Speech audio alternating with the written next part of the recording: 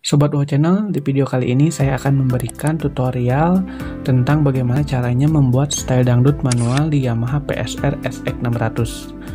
Oleh karena itu, ikuti terus uh, video ini dan untuk Sobat Wow Channel yang baru bergabung, silahkan tekan dulu tombol subscribe-nya yang berada di bawah video ini atau bisa menekan logo Wow Channel yang berada di sebelah kanan bawah layar komputer Sobat Wow Channel dan nyalakan juga loncengnya supaya lebih mudah untuk mendapatkan notifikasi dari video-video terbaru Wow Channel. Kita langsung saja menuju ke langkah yang pertama. Di sini kita mengarah ke tombol menu yang letaknya ada di sebelah tengah, di sebelah kanan bawah layar LCD SX600 Sobat Wow Channel. Di sini ada tombol menu, kita tekan saja. Nah, sekarang kita sudah berada di halaman menu kita sekarang berada di halaman menu pertama dan kita akan memilih menu kedua dengan menggunakan tombol tab. Kita tekan saja langsung tombol tabnya. Nah, ini adalah tampilan menu eh, yang kedua. Dan kita di sini akan memilih menu yang pertama yaitu Style Creator. Kita enter saja. Nah, kita lihat di sini ada dua pilihan, ada Current Style dan New Style. Karena kita akan membuat style baru, kita pilih yang sebelah kanan eh, paling bawah yaitu New Style. Kita tekan saja dengan menggunakan tombol nomor 8 paling atas. Nah, kita sekarang sudah berada di halaman Style Creator dan kita akan memilih tab Basic. Nah, di sini sebelum kita membuat uh, style baru, kita akan setting dulu temponya. Di sini ada file New Style, kita akan pilih nomor 2 yaitu tempo. Kita akan pilih Nah, di sini ada tempo sampai dengan 120. Kita akan rubah. Kita nyalakan dulu metronomnya. Kita akan tambahkan temponya dengan menggunakan tombol nomor 4 paling atas. Kita naikkan saja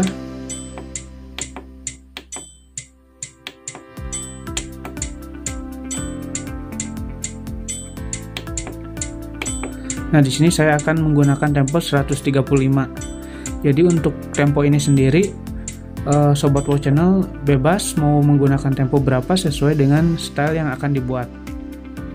Nah, setelah kita selesai men-setting tempo, lalu kita akan lanjut ke proses berikutnya yaitu kita akan mengedit pattern length-nya atau yang bisa dikatakan adalah berapa bar yang akan kita pergunakan untuk merekod instrumen dalam pembuatan style ini kita langsung saja arahkan panahnya ke nomor satu.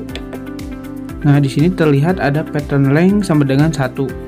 Karena di sini yang eh, saya butuhkan adalah dua.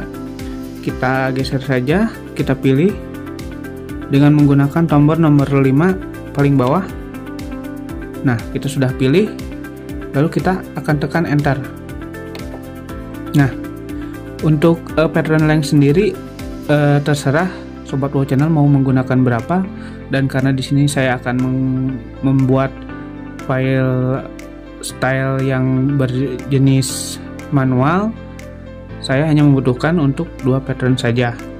Jadi kalau misalkan sobat Wow Channel mau menggunakan uh, lebih dari dua pattern silahkan.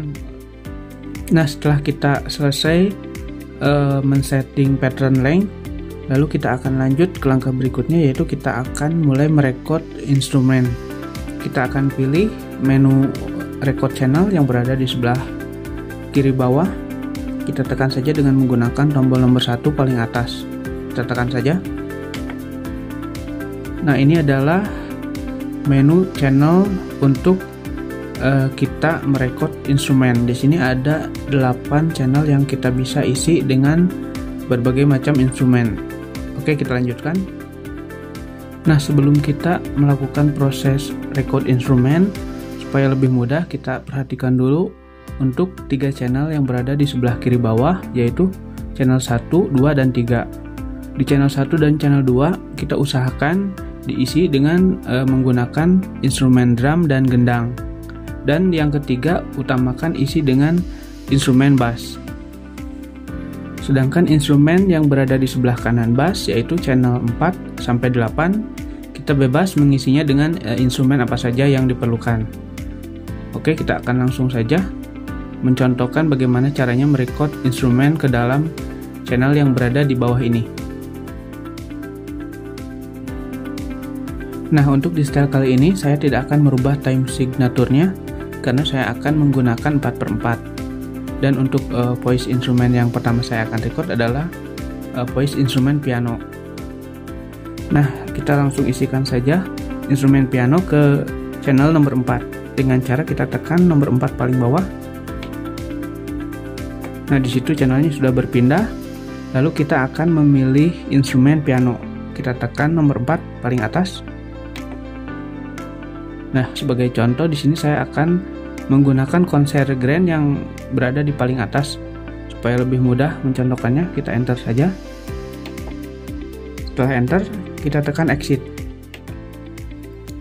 Kita langsung record pianonya, kita nyalakan dulu metronomnya di sini.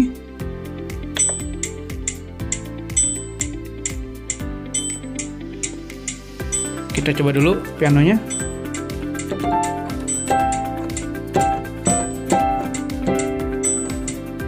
Nah setelah siap, lalu kita nyalakan di sini scene startnya karena kita akan mulai dari ketukan pertama. Kita tekan saja scene startnya.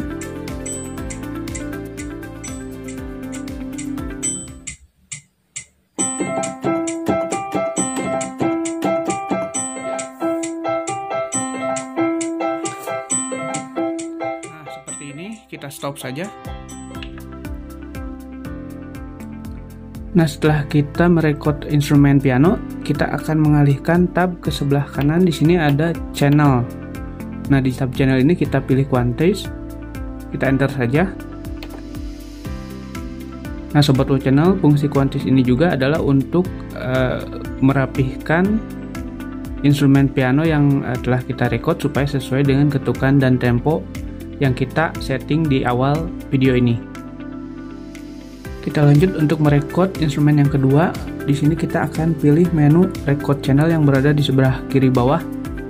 LCD SX600 kita tekan dengan menggunakan tombol nomor satu paling atas. Kita tekan saja.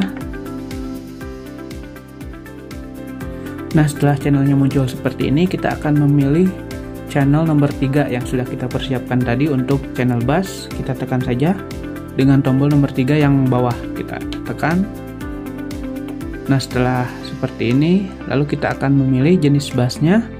Kita tekan saja dengan uh, nomor 3 yang atas.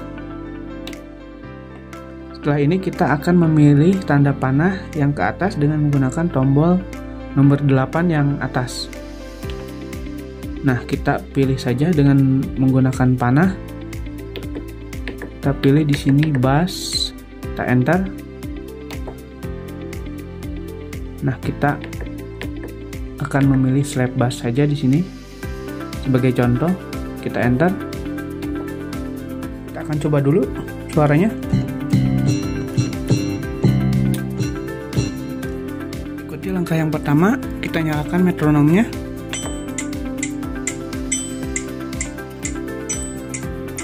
Lalu kita aktifkan scene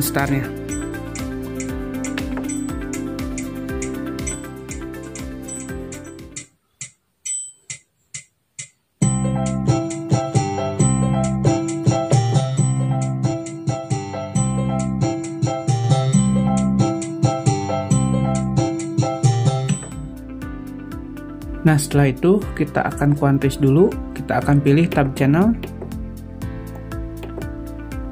Nah kita akan enter saja. Kita akan coba play lagi.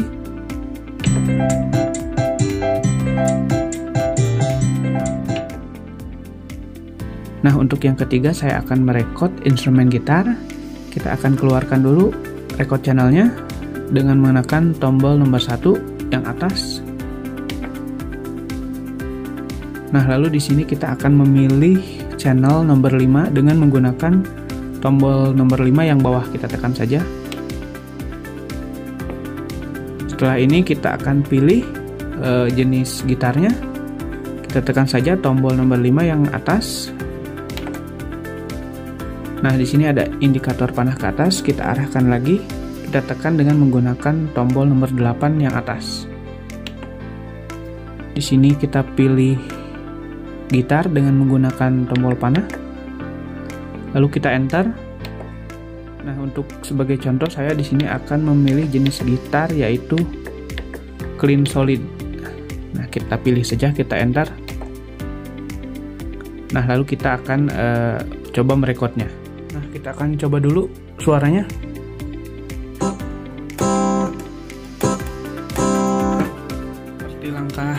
Di depan, kita akan nyalakan dulu metronomnya.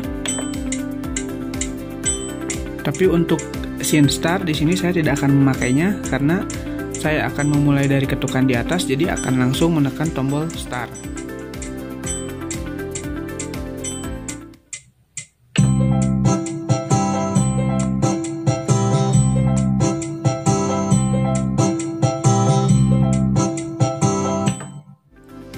Setelah itu kita akan kuantis lagi, kita akan pindahkan tabnya ke tab channel.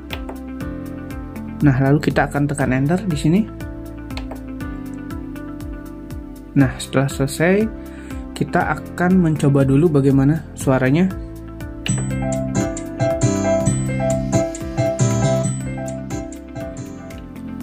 Nah, untuk instrumen yang ketiga sudah selesai, kita akan lanjut ke instrumen yang keempat dan di sini saya akan merekod uh, instrumen gendang.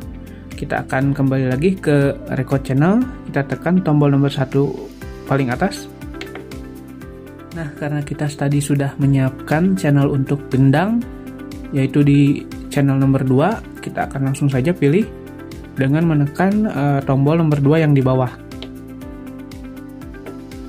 Nah, setelah itu kita akan pilih instrumen gendangnya atau voice gendangnya, kita tekan nomor 2 yang di atas. Nah, karena saya sudah menyiapkan atau menyimpan uh, instrumen gendangnya di user, saya akan arahkan ke user dengan menggunakan tab di sini. Nah, di sini saya sudah menyimpan instrumen gendangnya di voice. Kita akan enter saja. Di sini saya akan coba menggunakan gendang satu. Kita enter saja. Kita akan coba dulu suaranya.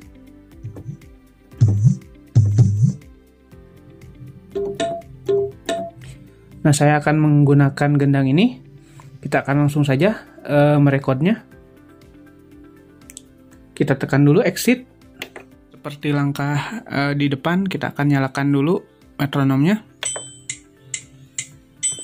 Tapi untuk scene start di sini saya tidak akan memakainya karena saya akan memulai dari ketukan di atas jadi akan langsung menekan tombol start. Nah, kita akan langsung saja merekod gendangnya kita akan masukkan gendang yang pertama.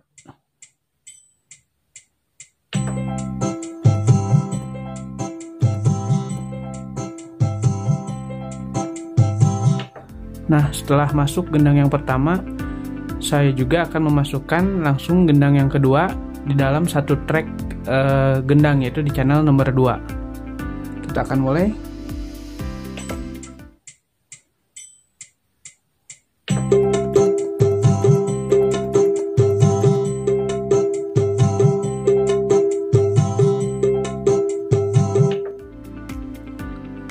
Nah, setelah kita beres merekod uh, instrumen yang kedua, kita akan kuantis seperti biasa. Kita enter saja karena di sini tabnya sudah berada di tab channel.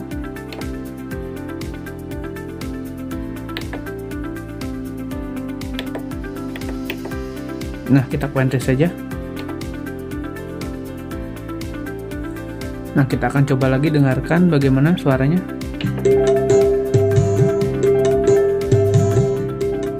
Nah, seperti itu mungkin gambaran dari suara gendang yang sudah kita rekod. Dan untuk uh, sobat Wow Channel di sini saya hanya mencoba untuk memberikan contoh bagaimana caranya pembuatan style dangdut manual. Jadi di sini saya hanya memberikan contoh yang sangat sederhana dari segi permainan ataupun dari segi soundnya ya, supaya lebih mudah dimengerti oleh sobat Wow Channel. Jadi untuk sobat Wow Channel silahkan mencobanya di rumah dengan permainan yang lebih baik ataupun dengan sound yang lebih baik. Oke, uh, untuk itu kita akan lanjut ke instrumen yang terakhir. Kita akan memasukkan tamborinnya. Kita akan uh, tekan lagi. Di sini kita akan masuk ke menu record channel lagi. Kita akan tekan dengan uh, tombol yang sama di sini, tombol nomor satu yang paling atas. Nah, kita akan pilih yang terakhir di sini channel nomor satu. Kita akan tekan dengan tombol nomor satu yang berada di bawah. Nah, sudah aktif. Lalu kita akan pilih instrumennya dengan menekan tombol yang nomor satu yang di atas. Nah, di sini saya masih menyimpan uh, instrumennya di user. Kita akan kembali ke user Nah, di sini sudah ada drum karena saya akan mengambil tamborin yang berasal dari drum. Kita enter saja langsung kita pilih. Nah, kita akan coba dulu cari uh, instrumennya. Nah, saya akan memasukkan instrumen ini. Selanjutnya, kita langsung saja record. Ikuti langkah yang pertama, kita nyalakan metronomnya.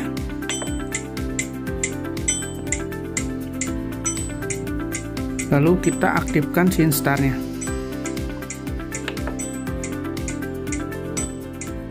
nah karena saya akan mengisi suara tamborin di ketukan pertama. Jadi di sini scene starnya kita aktifkan. Oke kita langsung saja record.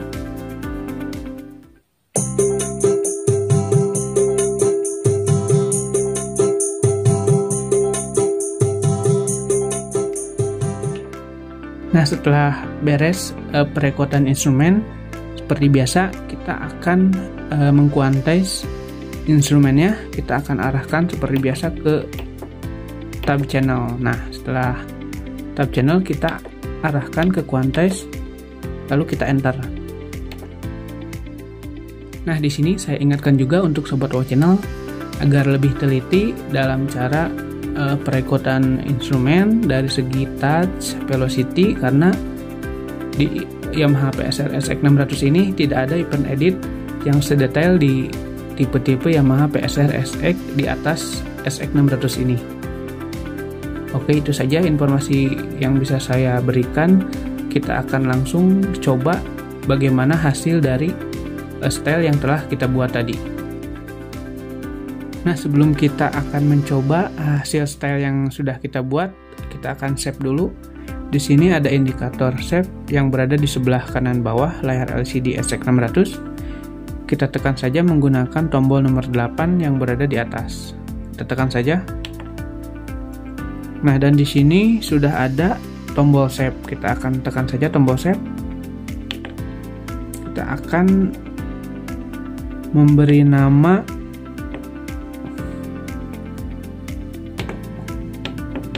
wow saja di sini wow dangdut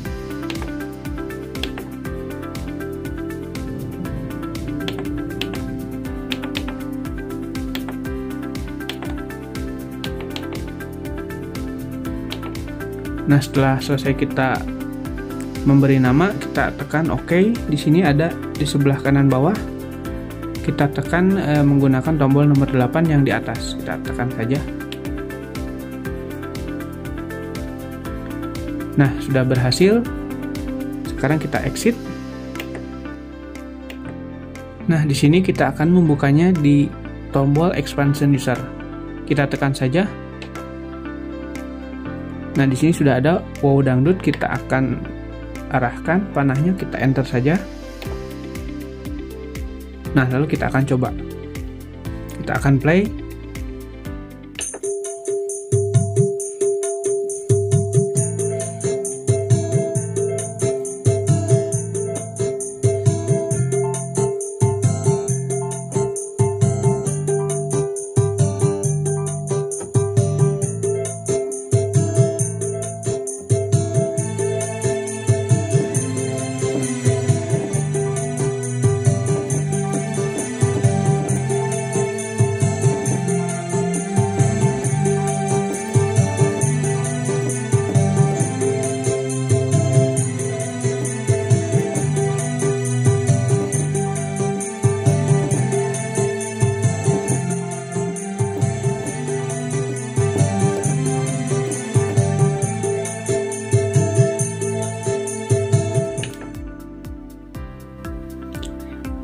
E, itulah style baru yang sudah kita coba di sana.